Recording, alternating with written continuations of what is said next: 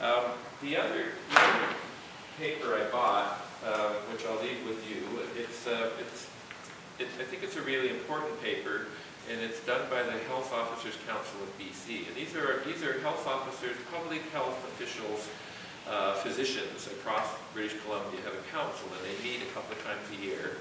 And they've been working on this, this, this issue of how to better respond to uh, substance use through a public health framework. So there, this paper is called the Public, public Health Perspectives for Regulating Psychoactive Substances. And they're wanting to look at all substances. So they want to look at substance use as a phenomenon that's been around forever and uh, will be around forever, and the problems created by substance use, but also the problems created by policy responses like prohibition, uh, like regulation. We regulate some things better than others. Uh, so they want to acknowledge that policies have harms and substances can have harms. And so they want to sort of look, level the playing field and look at all substances from a public health perspective. Um, and I think it, it, it, it's, uh, it's a discussion paper. So I, I encourage you to, uh, you can get it on our website at drugpolicy.ca. Um, I think it's something, it, the, the article that you mentioned, uh, uh, Roma, was one of many that you, you're seeing, right? Oh, Now, yeah, this is just the uh, recent one I saw. That's right. Yeah, So, so there's something happening. When you have Dr. Perry Kendall from BC, the Moira, can't remember her name, McKinnon from Saskatchewan, and Robert Strang, I think, from Nova Scotia, medical health officers speaking out on this issue, then something's happened. eh? We've, we've reached another level. And uh, kudos to your leader. When you hear you know, Bob Rae in the House saying what he said, and I was saying to one of you guys that th- these are really hard words to, you know, should, should someone like him become a prime minister, these are really hard statements to backtrack on, you know, so, and that's often what happens in politics. The opposition members can say whatever they want, right? Because they're not in power, so that, that often happens. I think we've seen it many times when uh, people get power. Of course, they have, they have to compromise a lot more to, uh, to, to to satisfy as many people as possible. So, so, but kudos to Rae for saying that. Um, that's, that's significant. The medical health officers, speaking of significant. The Stop the Violence BC Coalition that we're a part of, we're- we, we, we support it. We haven't, the, the, lead- we're not in the leadership uh, of it at all.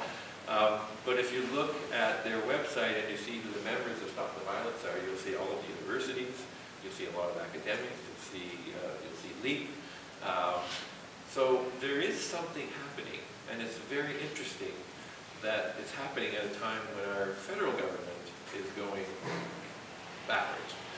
So we're, we're trying to, we're trying to build on the, and it's happening globally.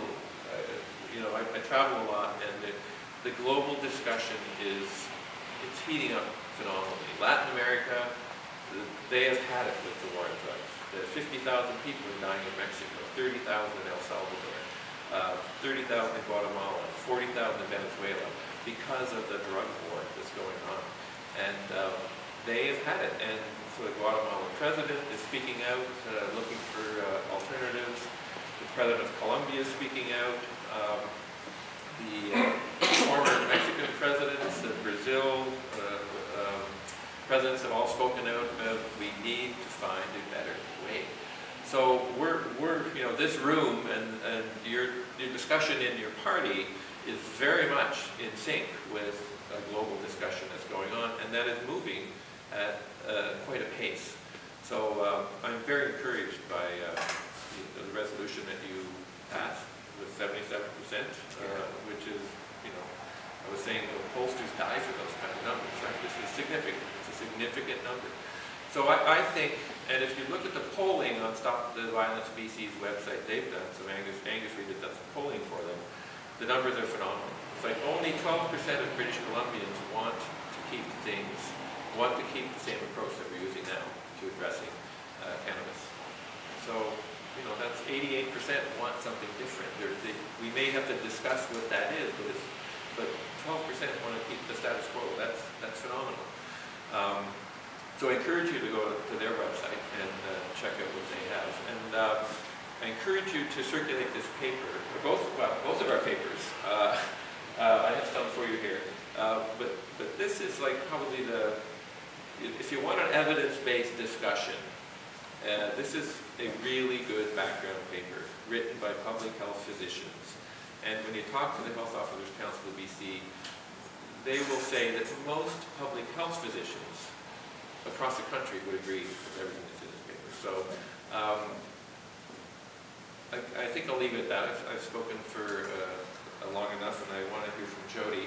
Um, but I, I think we're at that point to have, uh, I guess, former candidates, you're not a candidate, you're a former candidate, to have, to have people talking about the need for an evidence-based uh, drug policy is, is really good because the evidence is there. We have, we're, we're way further ahead than we were 25 years ago, or in 1972 when the Le Dain Commission uh, looked at all the evidence. Um, we're, we're just much further ahead globally. Uh, we can draw on so many resources to look at so much science behind uh, that, that will support any calls for change. So I'll leave these with you, and um, please join our coalition. Uh, like us on Facebook, you know, all that stuff. Tweet, follow us on Twitter. Uh, and we're, we're a resource for all parties. Uh, we would like to create a new drug policy, a new model legislation for Canada over the next few years and, and give it to all the parties uh,